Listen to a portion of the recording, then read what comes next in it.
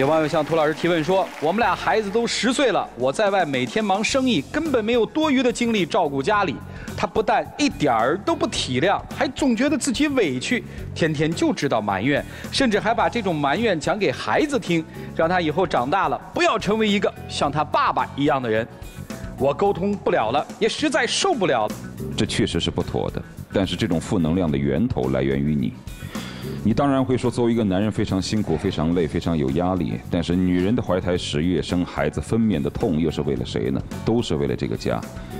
如果嫌苦嫌累，就别成家；既然成了家，就请你担起你的责任，闭上你的嘴。